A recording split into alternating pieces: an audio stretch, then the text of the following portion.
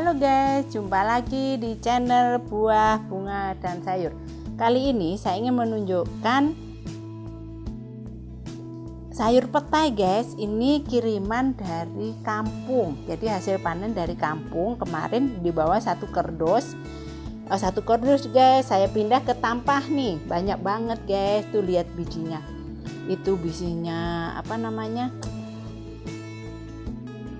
mentes-mentes kalau orang Jawa bilangnya mentes-mentes tuh guys tuh lihat ini ampun ini enak banget guys. Nah uh, saya akan menunjukkan bagaimana nanti saya mengupasnya guys. Saya mau kupas saya mau jadikan berbagai macam calon calon uh, sayuran. Oke guys ikutin terus guys ya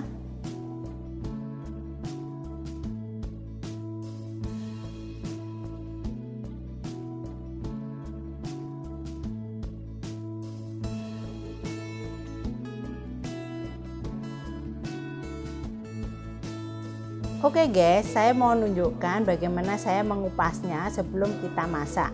Memang ada beberapa sih guys yang ada juga yang dikupas, contohnya begini. Dikupas langsung dibelah, ini jadi dua, terus kita siang begini.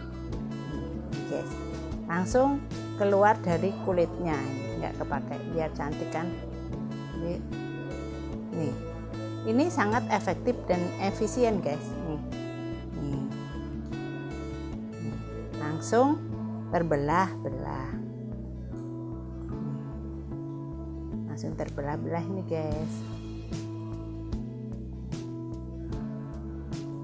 Tapi nanti saya juga ingin menunjukkan bagaimana saya mengupas yang yang apa namanya guys? Yang utuh-utuh. Nah kan ada juga yang sukanya utuh gitu.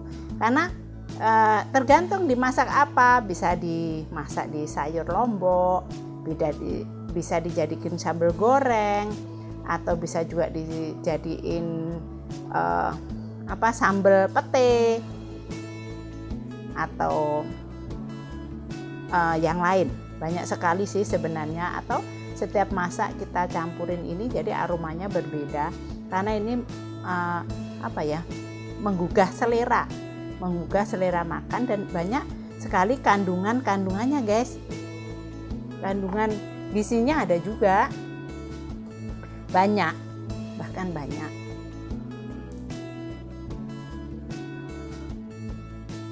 Ini tadi guys yang sudah saya potong-potong tapi memang ini yang pakai teknik yang cepat nih hasilnya. Yang tadi begini tadi yang ini akhirnya. Nah yang dengan begini nah ada juga dengan cara yang hasilnya begini guys. Jadi uh, hasilnya ini utuh.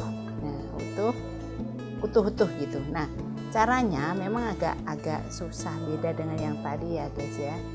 Nah, nah dibuka dulu. Dibuka dulu. Nah ini ini tuh setelah begini dikupas lagi kulit arinya. Kan ada kulit arinya Nah, ini kalau orang yang menginginkan utuh-utuh ya guys ya. Kan ada orang yang menginginkan masih utuh-utuh begini. Tapi ada juga yang menginginkan seperti ini guys. Katanya kalau masih ada kulit arinya ini tidak terlalu bau. Ada yang bilang begitu, tapi nggak tahu ini benar atau mitos, saya kurang tahu. Yang pasti pete ini juga enak dibikin nasi goreng pete guys. Sudah pernah nyoba belum? Jadi kita iris-iris. Nah ada juga yang diirisnya begini guys yang kecil-kecil begini. Hasilnya kecil-kecil seperti ini. Ini juga ada yang enggak jadi enggak terlalu besar kan? Sesuai dengan masakan yang mau kita masak apa. Tuh hmm, ya kan? Ada yang modelnya kayak gini. Terus ada juga yang model dipotong-potong begini. Potong. Nah seperti ini. Jadi gini guys. Nih ada juga yang dipotong-potong uh, kayak gini. Nah, jadi tiga. Jadi utuh-utuh begini nah ini nah ini. Jadi uh, sesuai selera. Menurut saya sesuai selera. Nih ada yang seperti ini. Terus ada yang dipotong-potong kecil eh, potong-potong uh, kecil seperti ini. Jadi sesuai selera mau dimasak apa. Kalau ada juga yang suka dibakar guys. Jadi dibakar ada juga yang dipotong-potong e, direbus untuk lalapan. Ada juga yang bahkan dimakan mentah guys. Dimakan mentah ininya itu mentah. Dimakan itu kalau memang suka nggak masalah. Karena pete ini mengandung banyak vitamin guys. Ada vitamin E B1 vitamin C juga mengandung mineral mengandung kalsium mengandung mangan mengandung zat besi, fosfor, zinc, magnesium, dan tembaga. Nah, pete ini juga mengandung protein, karbohidrat, serat, lemak. Nah, ternyata banyak ya guys ininya manfaatnya. Jadi e, nutrisinya yang terkandung di dalam pete ternyata banyak juga. Makanya tidak salah kalau kita makan pete. Jadi yang hobi pete nih e, silahkan. Saya juga dulu tuh sebenarnya kurang nggak ngerti tentang pete.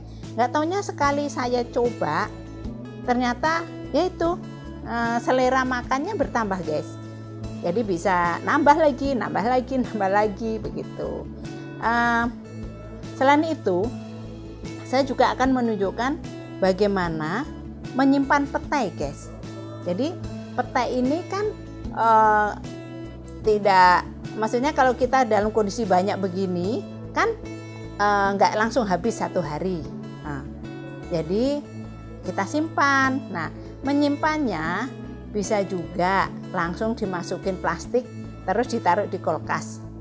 Tapi bisa juga dibungkus koran terus dimasukin jadi ini contohnya begini. Ini di begini terus